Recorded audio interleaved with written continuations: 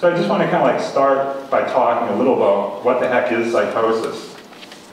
Um, and this is a definition from a, from a medical dictionary, and it's uh, a severe mental disorder with or without organic damage, characterized by derangement of personality and loss of contact with reality, and causing deterioration of normal social functioning. Well, really the essence of that um, definition is that it has to do with being out of touch with reality. I mean, derangement basically means uh, disorientation. Um, so, so essentially it's about loss of contact with reality. So I, I have a question for you guys. Um, how many of you are totally in touch with reality? okay, so we, we've got one person there, I see. I'm not sure if that's a grandiose delusion. um, but since, since none of us are really um, in, totally in touch with reality, does that mean we should all say that we're at least a bit psychotic? Yeah. Um, the cognitive perspective is that we're all at least a bit out of touch with reality, and, and nobody's totally out of touch. Everybody's at least in touch with something. And we just define psychosis as the point where that out of touchness begins to appear severe. Um, or, you know, maybe it puts us in conflict with the wrong people. So it's a matter of degree, that we all have these kind of problems, but um, that, that it's a matter of degree. And also, it's an interesting question, who judges what being in touch with reality is?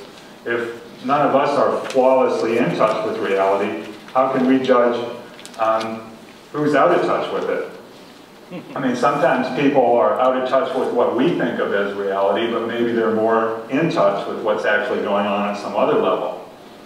Cognitive therapy kind of like sees it all on a continuum, like where all mental problems have some kind of out of touch with reality component. So like a person with anorexia who thinks they're fat, you know, there's sort of an out of touch with reality idea. Or a person who has a panic attack and thinks that they're dying. Or um, a depressed mother who's taking care of her children under very difficult circumstances and yet she thinks she's worthless. Um, psychosis is just distinguished by the extreme and socially unacceptable nature of the interpretations that are made. And, and also the cognitive therapist doesn't have to assume that he or she is totally in touch with reality because the focus instead is on a collaborative investigation, you know, a dialogue where the client has something helpful to contribute as well as the therapist. Um, dialogue is one thing that usually breaks down by the time somebody gets kind of far out enough to be labeled psychotic. Um, and that breakdown in dialogue also happens on a continuum. Like when our difficulties in being in touch with reality are just little, um, they just are kind of like little errors, and we have no trouble talking with our colleagues about it. You know, we well, we might have had a little bit of poor information, or maybe we were just having a little bit of denial or whatever, but we can talk with other people about it and joke about it and that kind of thing.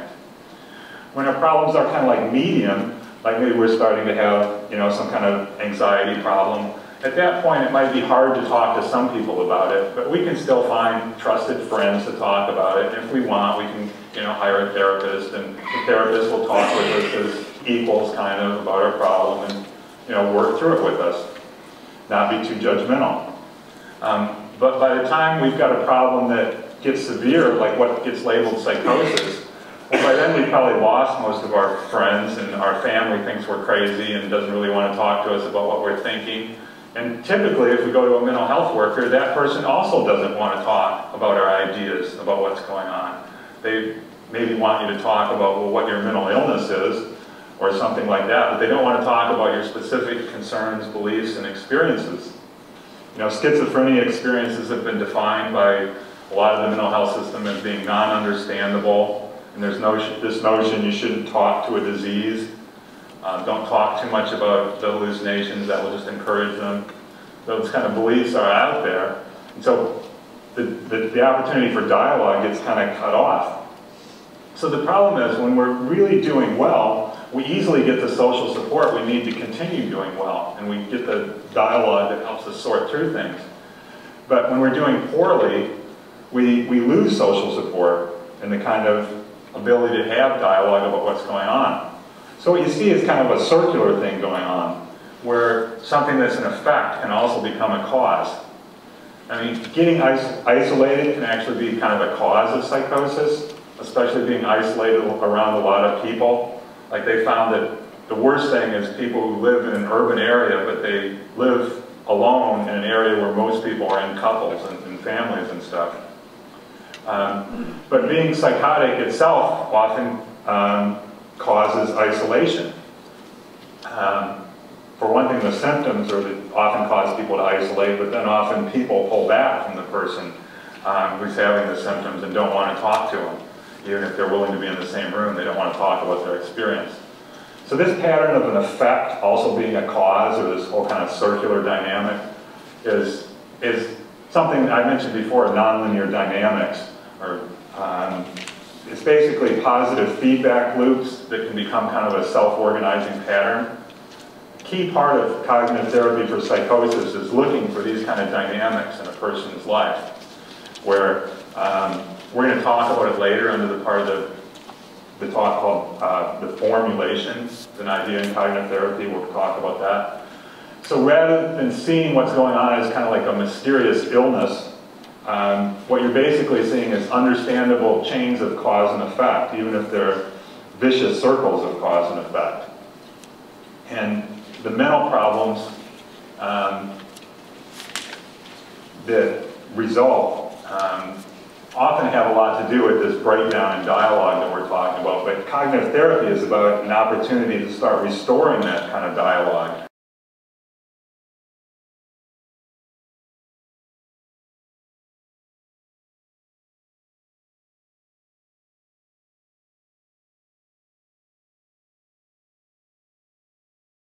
Pretty much all of what we look at in terms of mental health problems have kind of like a, a too far out of balance kind of thing, where people swing from these different extremes that you see here.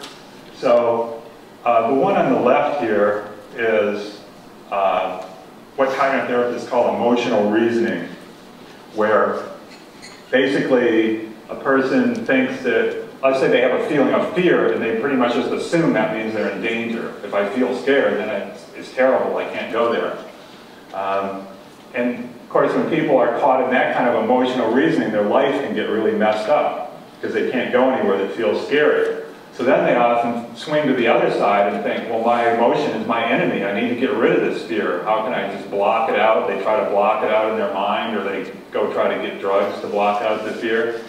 And those are two extremes. Whereas the cognitive idea is, in the middle, is where we're more like what health is. It's like we're open to feeling our feelings and emotions, but we don't assume that they mean true, okay? So if you feel fear, it might mean you're in danger, or it might mean that um, it's just a feeling, and you have to decide whether it's accurate. If the fear is not, there's no, the danger isn't really that significant, you just kind of have to go on about your business. Now, I'm not sure how well you can see this next slide, but this is a picture I took on North Sister a couple years ago. And as you might be able to tell, this part of the climb is just a little precarious. um, my sister-in-law asked me how I could do things like climb, and she said, well, don't you have any fear of heights? And I told her, well, I wouldn't climb if I didn't have a fear of heights, because, you know, I, falling is bad. Um, but I also couldn't climb if I couldn't reassure myself that I know what I'm doing and I'm actually reasonably safe. Now you can't see that there is a rope in there, but it's part of what's going on. Um, so the fact that I'm open to a dialogue within myself between I can feel the fear, oh no, I might die here, okay, but what am I doing about it? How am I making sure I'm safe? That's really what healthy um, you know, emotional functioning is about. Now, one thing that kind of disrupts that dialogue can be trauma. Now, we know from brain studies that when a person's overly aroused, the part of their mind that evaluates danger is essentially shut down.